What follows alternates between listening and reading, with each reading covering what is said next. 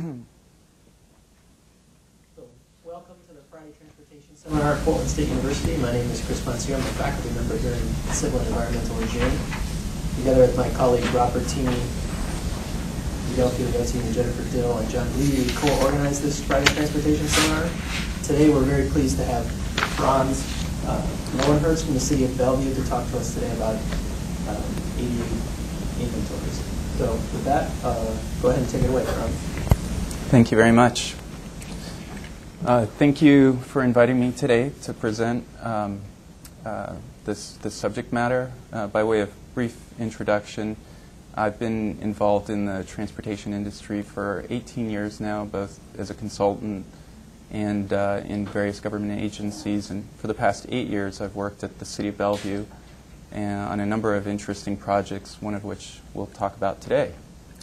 Uh, we'll, we'll begin the discussion with a review of, of the Americans with Disability Act. We'll talk about various methodologies for approaching the requirements there and the one that City of Bellevue chose and uh, where we're at in the project and how it's influencing our day-to-day operations. So the Americans with Disability Act of 1990 is a far-reaching civil rights law uh, for states, state and local government agencies. There are some very specific requirements that we must ensure that individuals with disabilities are not excluded from program services and activities. And this includes pedestrian facilities. So what this means for us is that we are required to undertake a self-evaluation of those public rights of way to make sure that they uh, meet the standards of the ADA. And once we identify barriers, we need to include them in a transition plan, which identifies how we intend to go about addressing those, those barriers. Aside from the legal um, requirements, City of Bellevue is committed to ensuring that accessibility is available to all of its constituency of the 120,000 residents, 15% of those are known to have a disability of one, one nature or another. And looking to the future, we foresee this to be an increasing trend with the aging demographics that we, we see.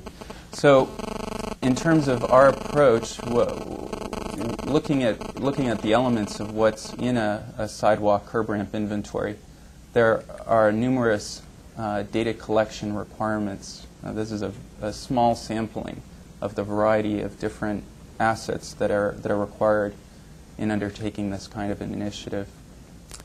And the, the guidance is fairly limited. Uh, the document reflected here, Designing Sidewalks and Trails for Access, is a 1999 document. Uh, these these illust illustrations from the document show the, the level of technology that's, that's, that's uh, being offered as guidance.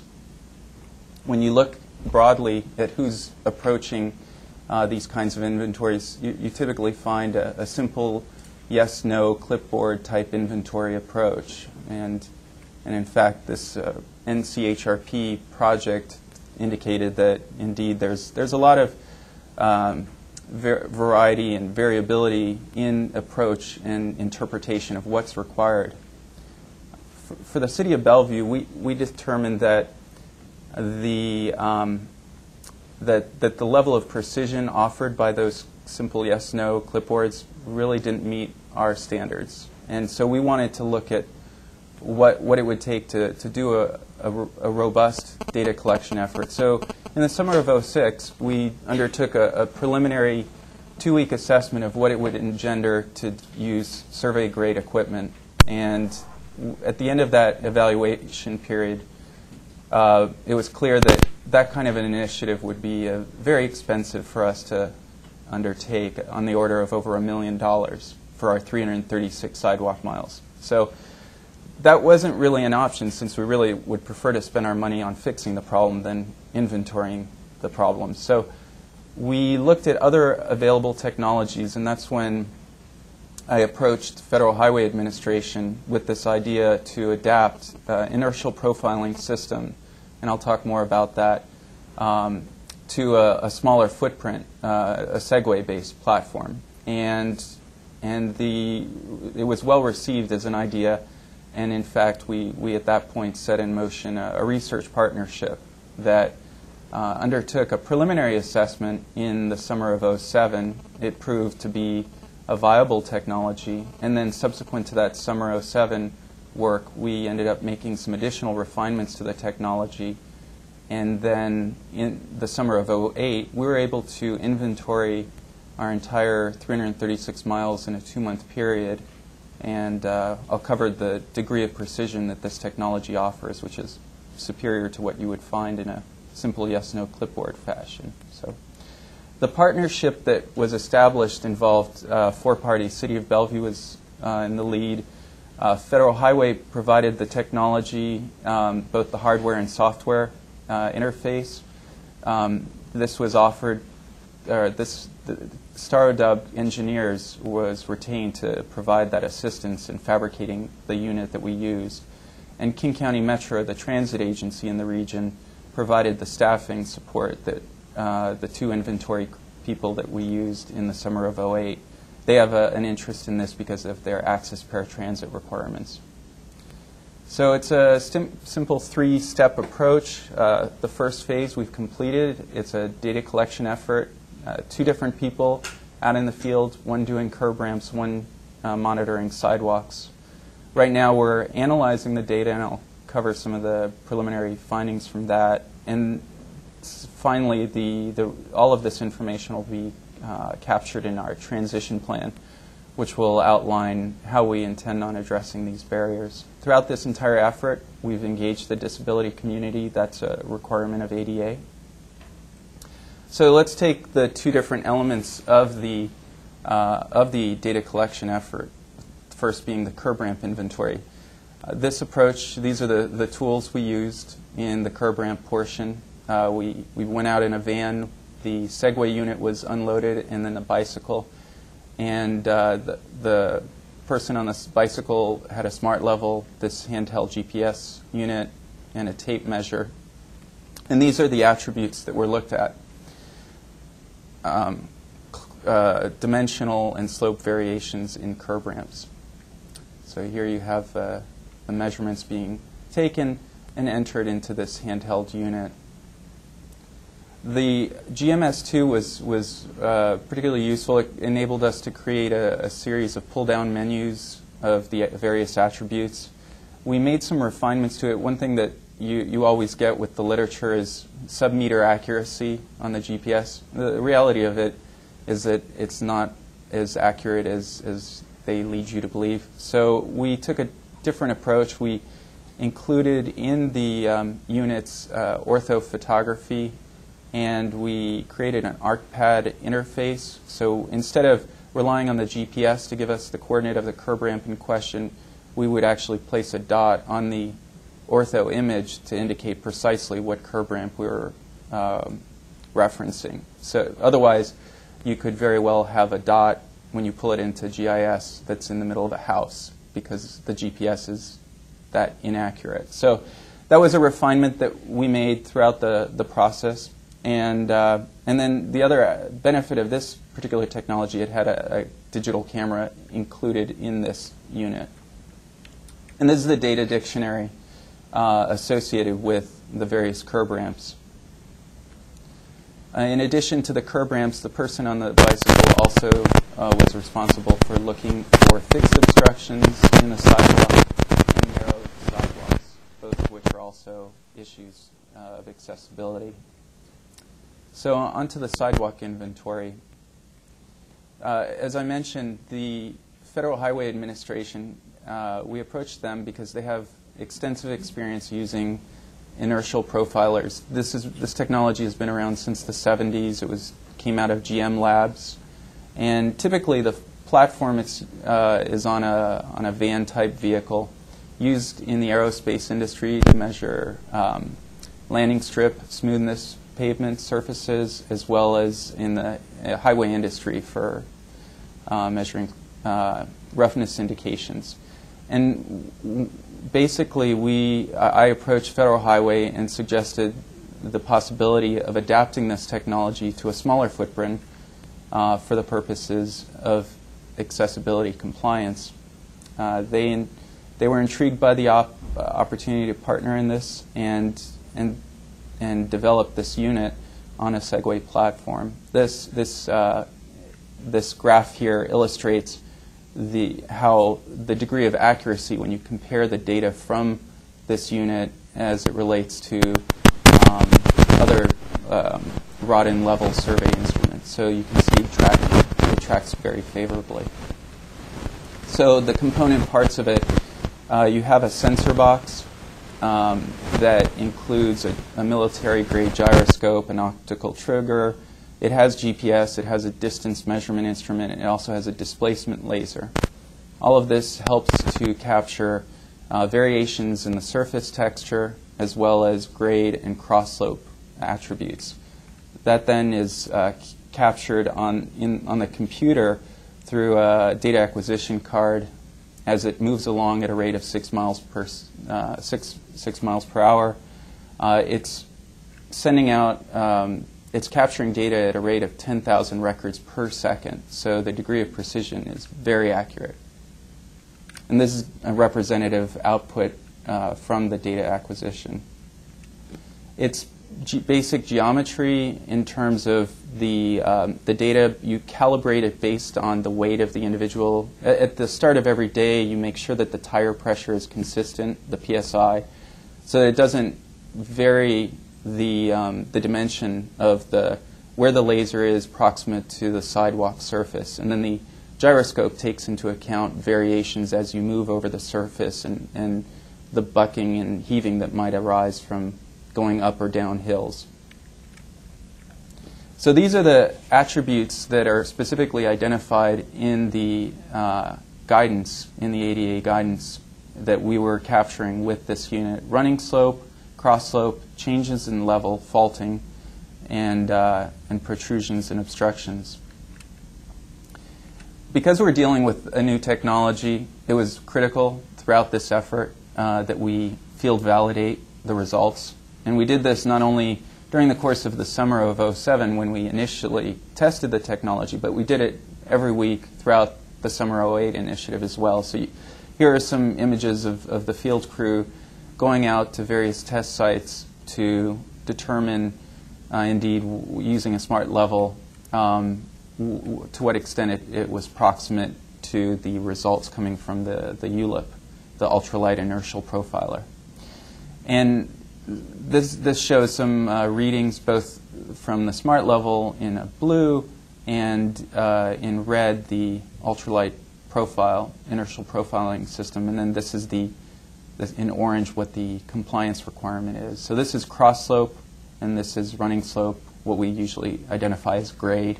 And then this is the test site in question. So you see, you see subtle variations, but in general, the, it tracks very close to what the results are. So, looking at the um, some of the issues that we dealt with in terms of how do we take all the data and then process it. Uh, one of the one of the things that we needed to make a determination on was what would be the appropriate window size to make a, an assessment of the data.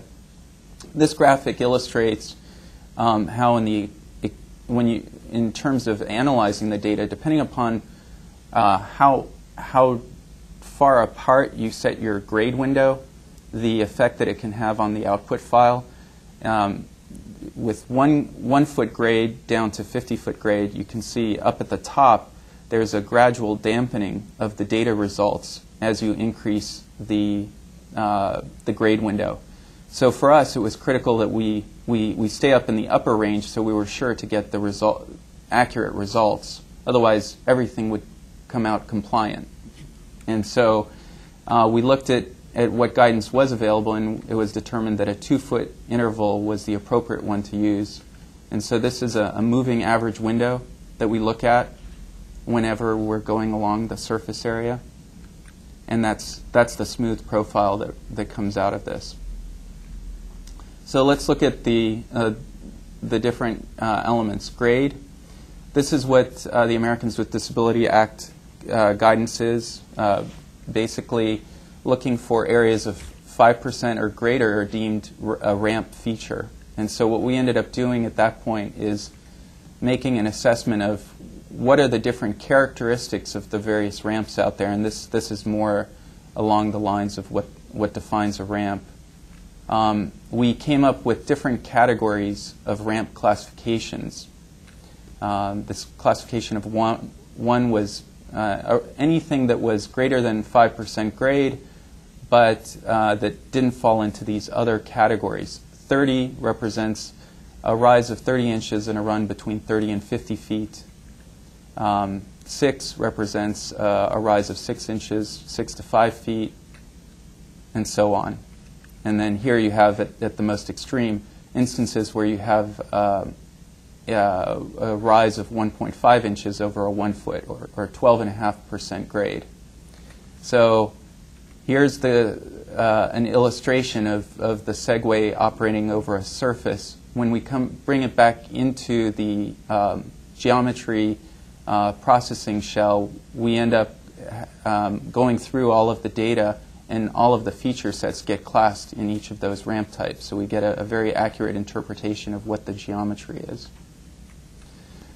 Looking at um, the ultralight inertial profile as compared to smart level readings, again, I was saying how important it is to have accuracy um, in, in the results. And this, this is another illustration of how it tracks very closely to the smart level readings, the output files.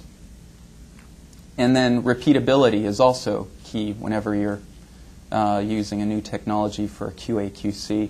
And so again, this is four different runs along the same area, and they all track very closely to what you're looking for. And then this is when you bring it into GIS. These are all those various ramp types, class by color.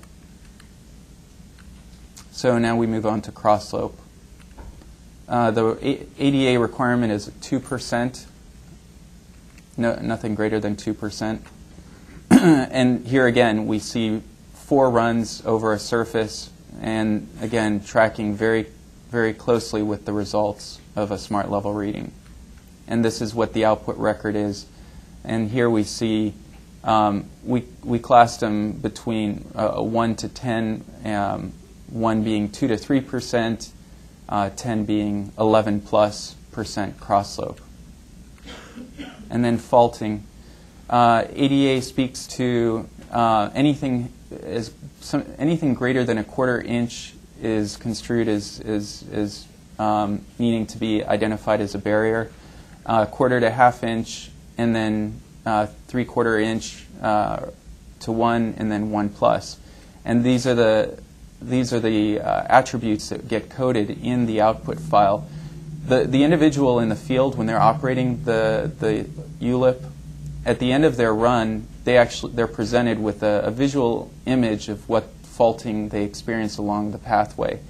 If you don't, if you if you've gone over a surface with two big bumps, as is the refle- as is reflected in this image, it, you get a visual confirmation that the results are accurate. So you have on-the-fly validation of, of the results.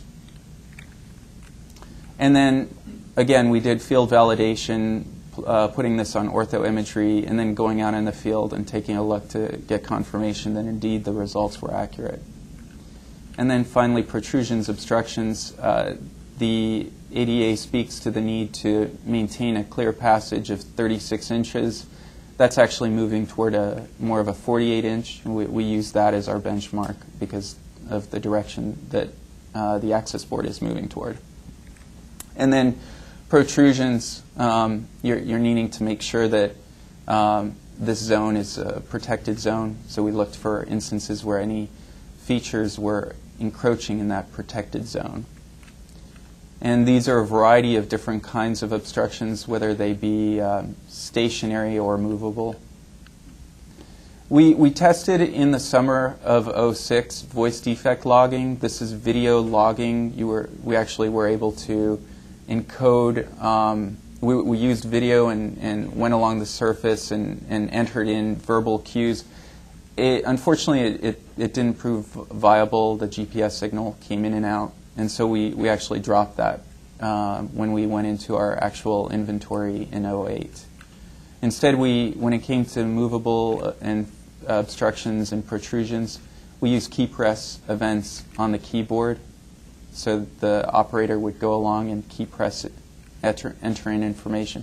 And driveways, I'm going to cover in detail uh, why this is an important attribute to note, but we would note that at the midpoint of all the driveways.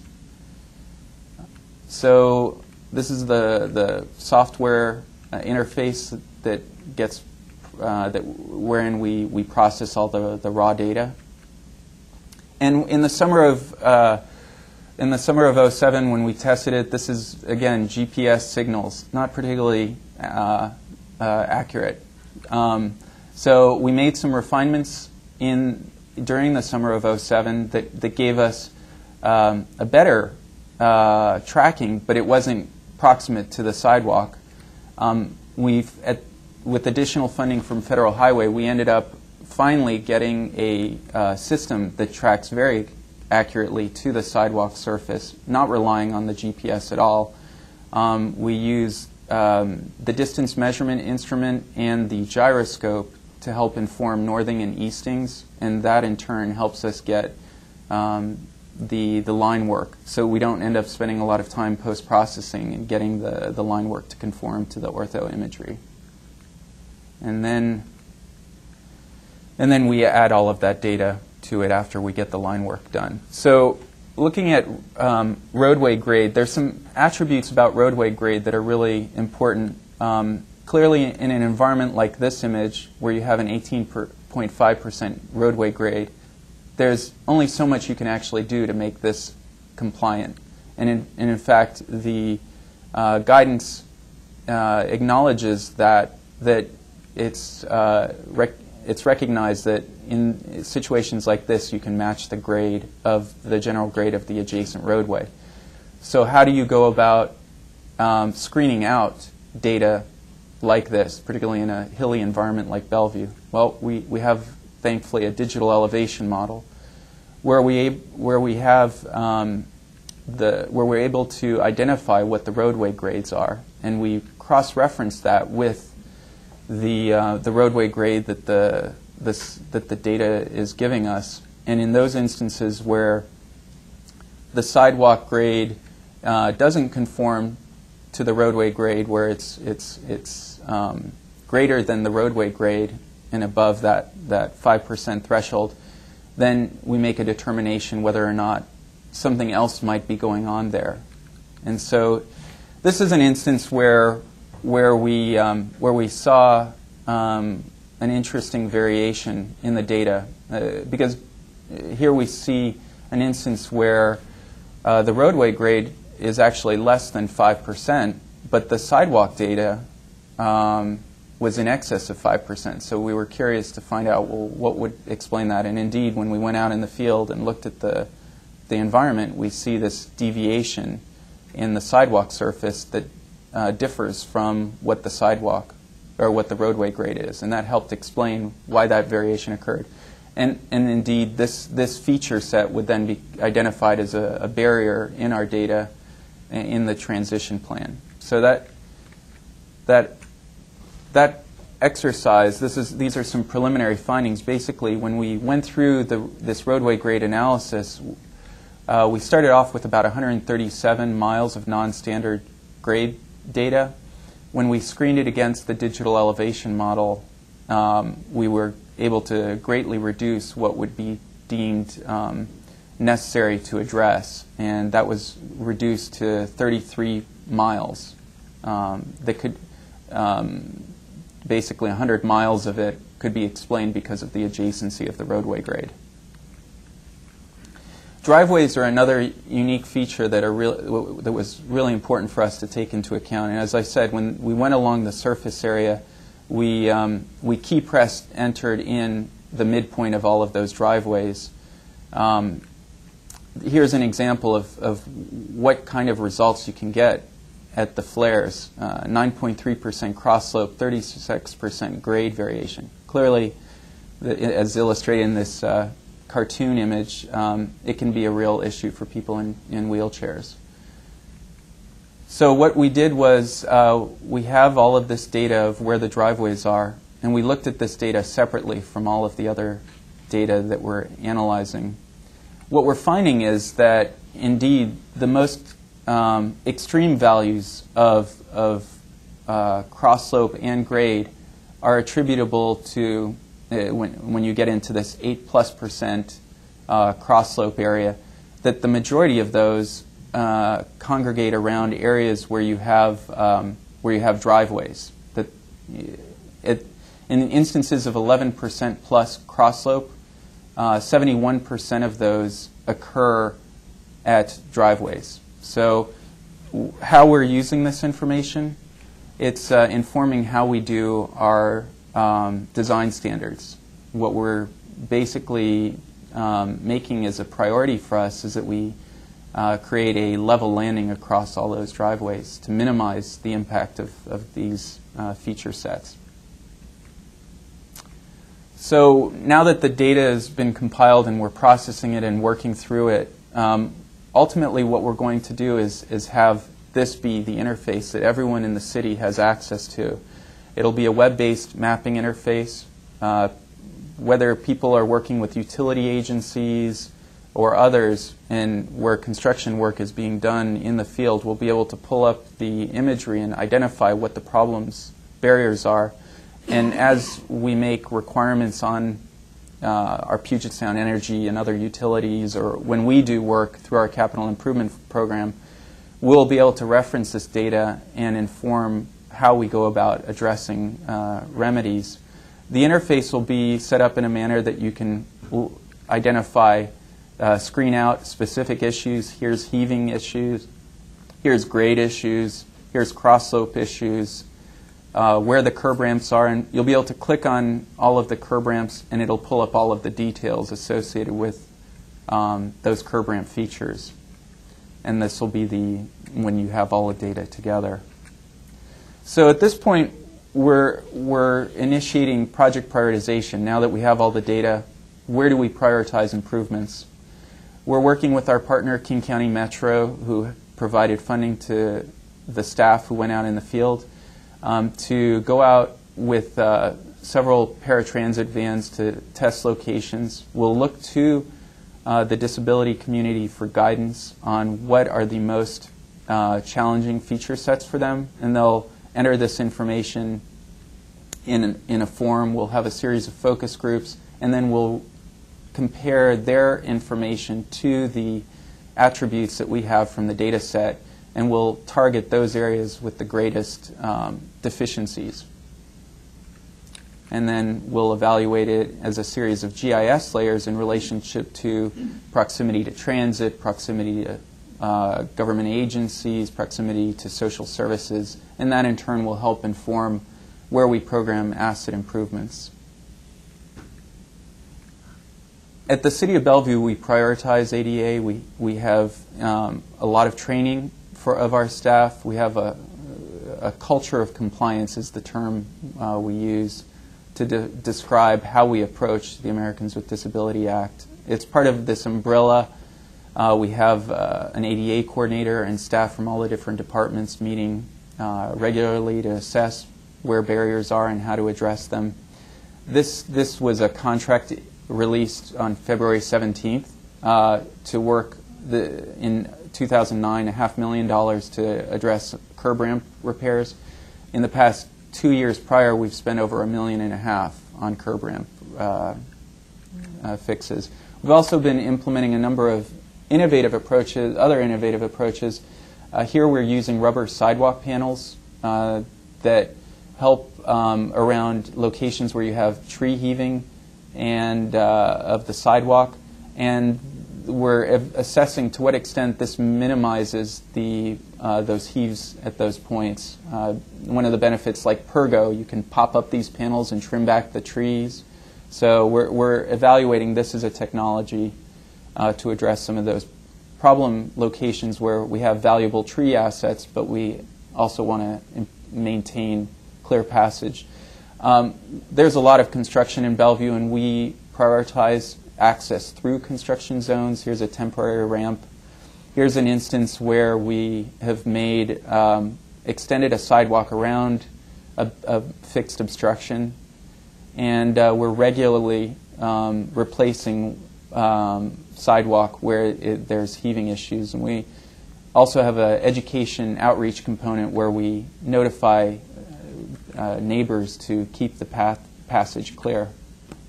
And we also have a uh, online presence uh, in the form of accessibility requests that people can can weigh in on where their problem sets. So that that pretty much concludes what we're doing in the way of ADA. Uh, I'd be happy to answer any questions you might have at this point. Please remember to use the microphone. When do you plan on having your project prior- prioritization done? So uh, we are planning on, um, we're meeting actually with King County Metro this next week to identify who from their access uh, pool of, um, would participate in this, this outreach effort. We anticipate doing the, um, going to these test sites um, mid next month, and uh, and then we'll we'll be uh, integrating that information with the GIS data set that we currently have. Hopefully, the final ADA transition report will be wrapped up in June all of the information on where prioritized improvements need to be made. Um, That, first, just a couple comments. I'm really glad to see somebody's looking at um, the issues. I can stop choking.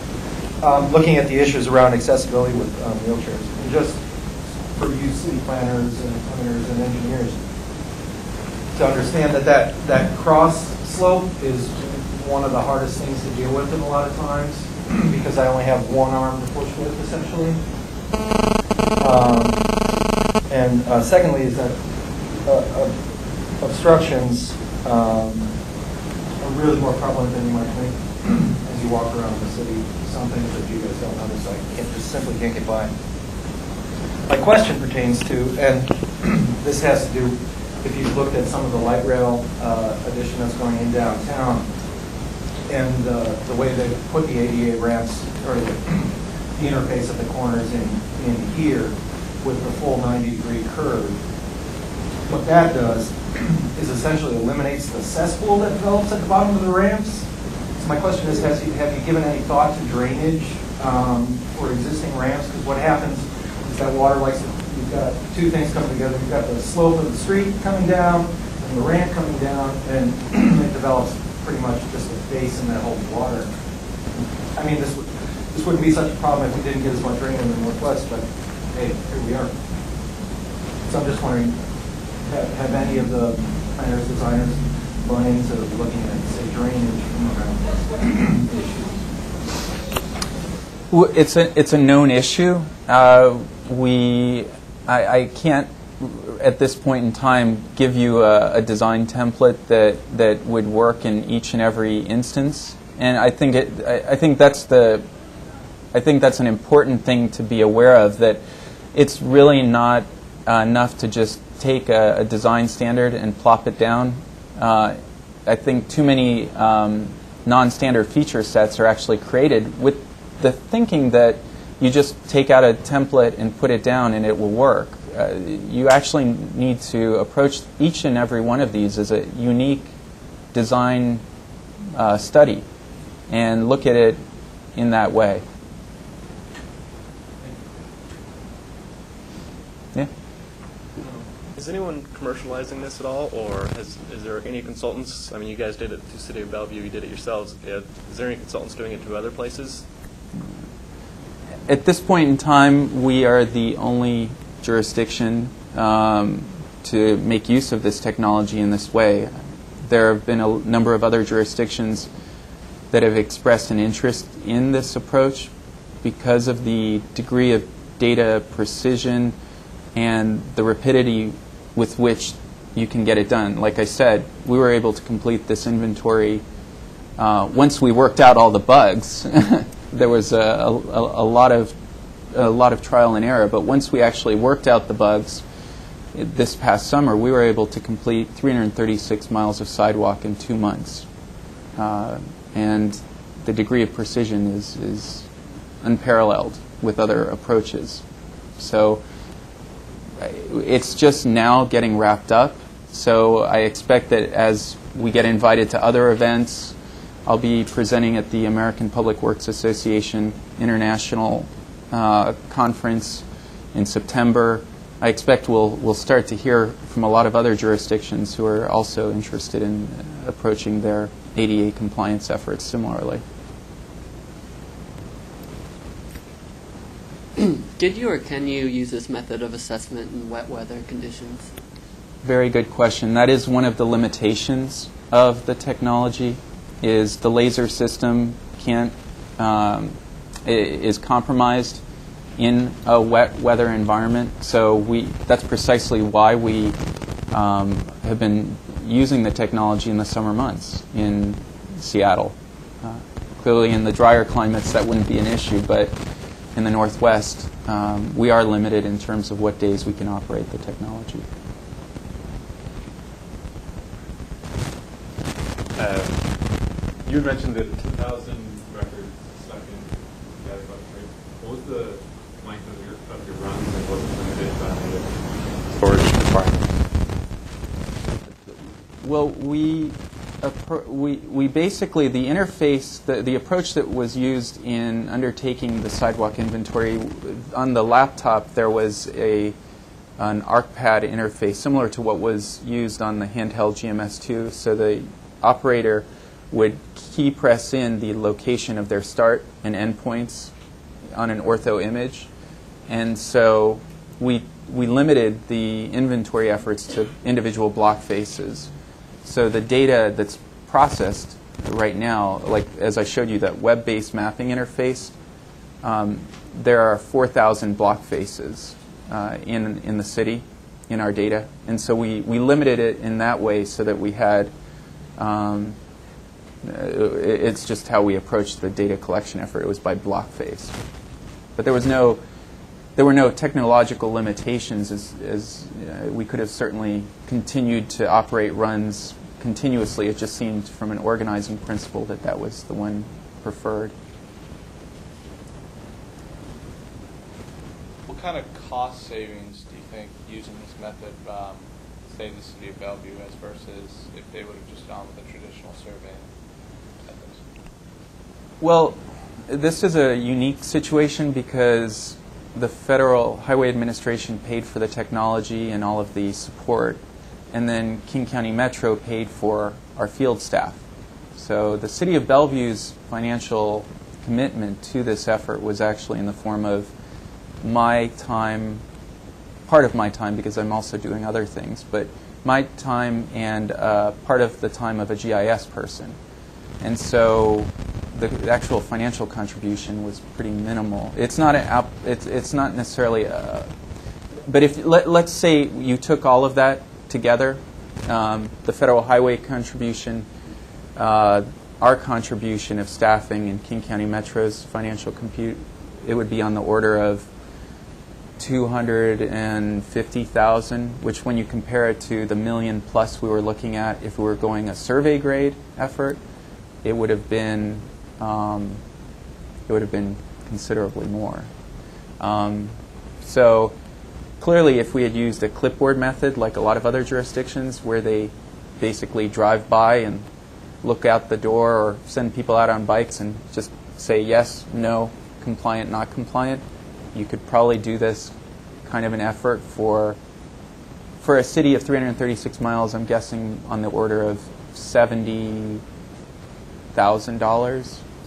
But again, you forfeit an incredible amount of precision in going that way. And keep in mind, these are intended as um, similar to a capital improvement program. This is intended to help inform where you make investments. And so, you, at the start of this, you, you want a higher degree of precision than a yes/no tracking approach.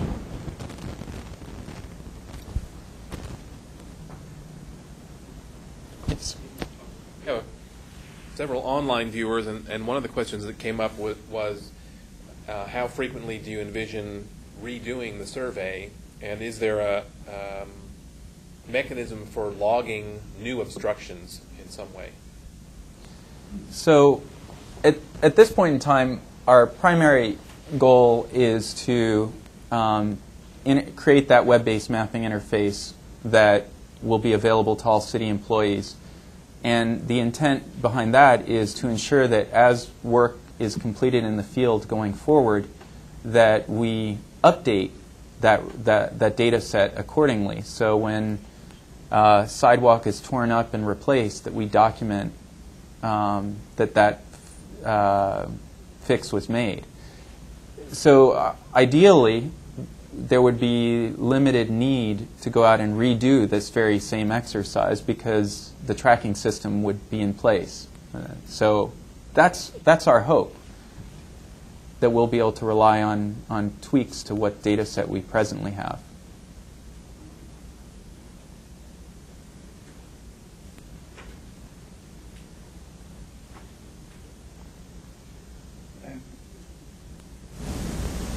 How many miles of streets do you have in Bellevue?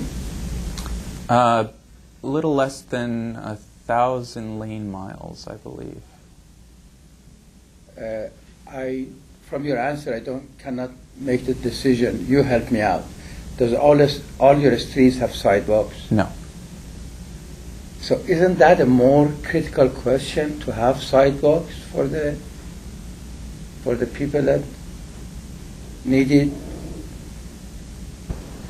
Do you look at the at the walking as a mode of transportation, and are you spending the same kind of money that you're spending for the for the vehicular travel? Um, so I, I could, I guess, my interpretation of this: uh, Are we putting in an, an equal amount of effort to um, building the onto building the gaps to the sidewalk system? Where they where sidewalks don't exist, are we putting in an effort to address the, the gaps in the sidewalk network? Is that what? Okay. Um, in addition to managing this project, I'm, I'm also the project manager of our pedestrian and bike master plan. And so we've looked at, in that effort, where the gaps are and worked with the community in helping to prioritize where to make, where to fill in those gaps. So that's a, a separate but parallel effort. We just, this past week, uh, went to our council and they approved this, this list of, of projects in our pedestrian bike master plan. So we're doing that, that's a priority as well. Neither of them are, are one more important than another, except that this is a federal requirement, and if you don't do this, uh, it can jeopardize your federal funding. It can leave you uh, open to all sorts of lawsuits. Um, so it, there, there's some real motivation behind having this kind of a, a documentation in place, aside from doing the right thing.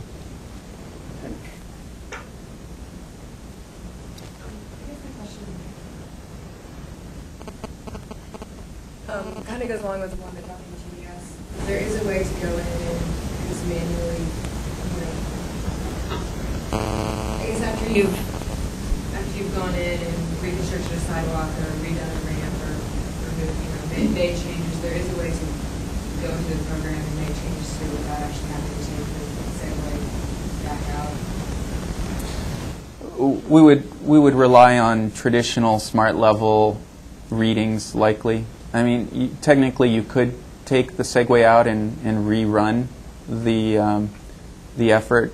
We haven't worked out the details on how the maintenance will be done of the data set.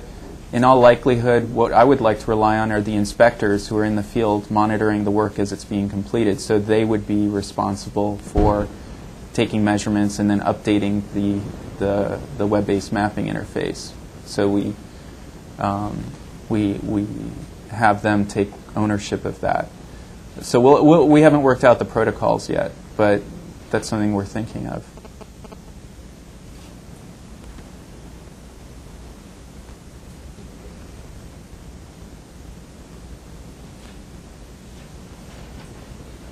Thank you very much.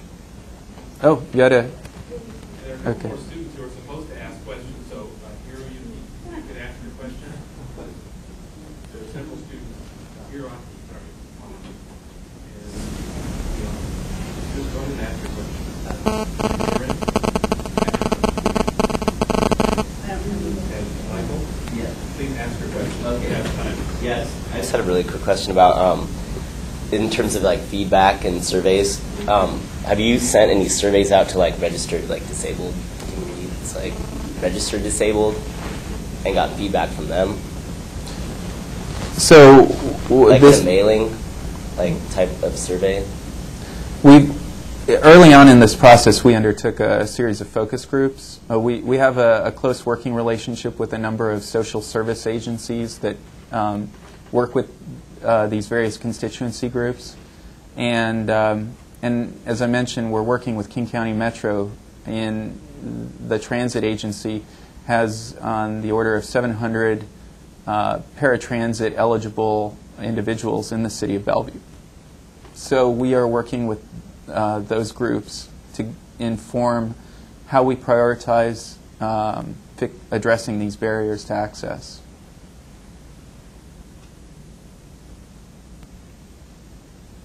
So, um, the, the question this gentleman asked, I'm not quite sure how to phrase this, but, you know, when you're talking about ADA requirements for sidewalks or for mobility issues, what if, I mean, is there a difference in how, like, the ADA would grade a city, whether it had um, all sidewalks or not, or are roads without sidewalks treated differently? Do you know, I mean, I'm just trying to understand, I mean, like, the city of Bellevue could be fined, say, because sidewalks are not um, under that 5% grade or that type of thing, but what if there are no sidewalks? How is that handled? I'm not an attorney, so I, I, I'm going to stay away from uh, kind of the legal questions surrounding that.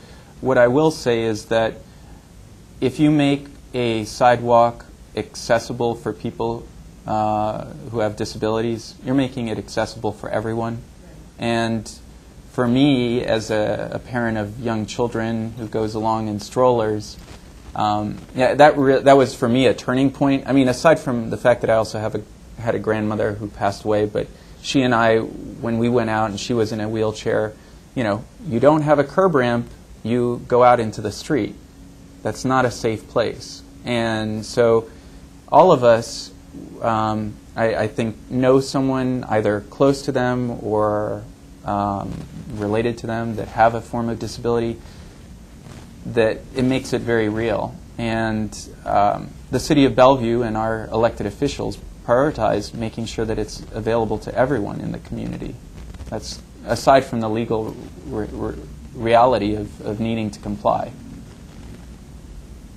I'm sorry, I'm not trying to get you around it or anything like that, because, I mean, I've been in on crutches and that kind of thing before, so I don't deal with it on a daily basis. But, I mean, I just didn't know if there were different regulations under the ADA for um, streets without sidewalks and streets with sidewalks, that's all. Okay.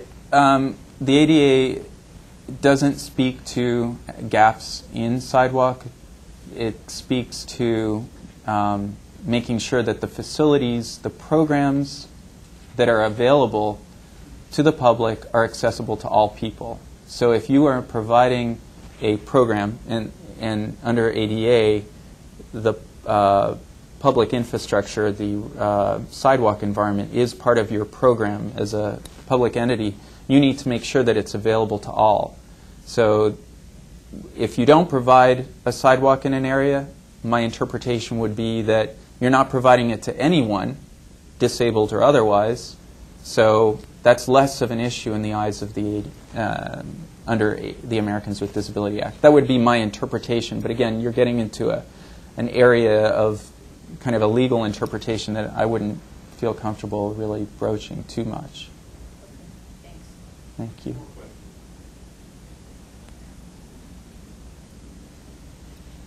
Yes. Uh, Are you planning to do the effort even at the very low, low density area? Uh, we undertook our sidewalk inventory on all of our all of the sidewalks in Bellevue, all 336 miles. Uh, there's no differentiation in terms of uh, density.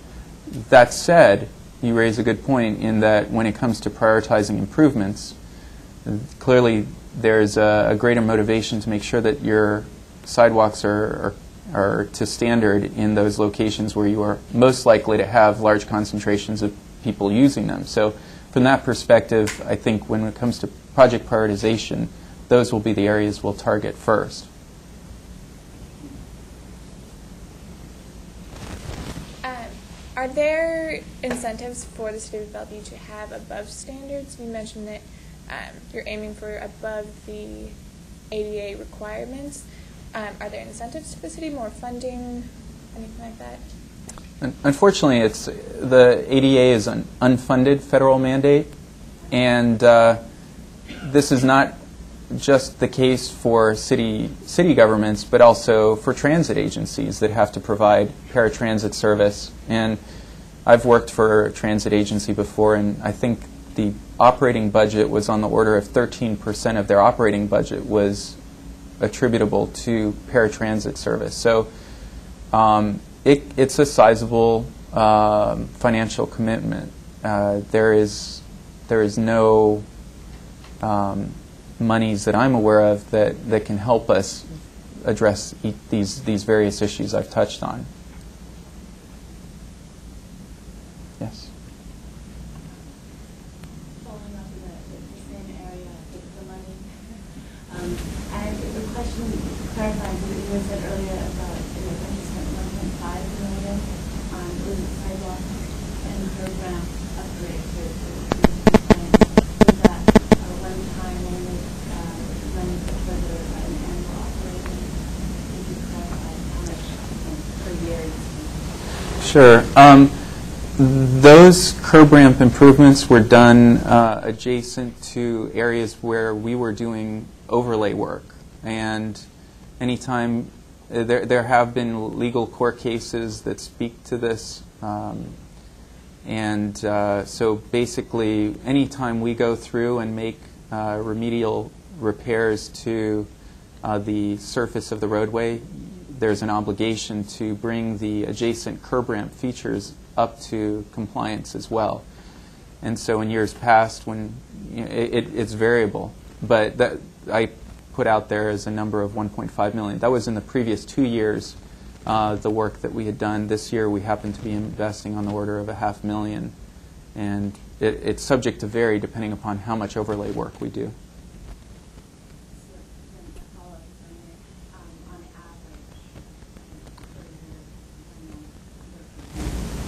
Um, well, if you were to take, I, I would say probably about 700,000 at this point.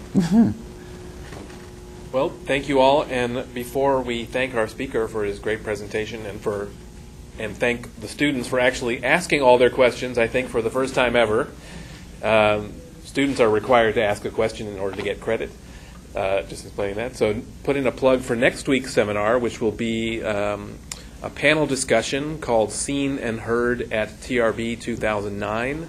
Gail Achterman, the chair of the State Transportation Commission, Mike Hoglund, uh, the director of the Research Center at Metro, and Matthew Berkow, who's a planner at Alta Planning and Design, will be talking about um, lessons learned at the Transportation Research Board annual meeting uh, this year, moderated by John Mackler. So look forward to next week, and thanks to Franz for his great presentation. Many thanks.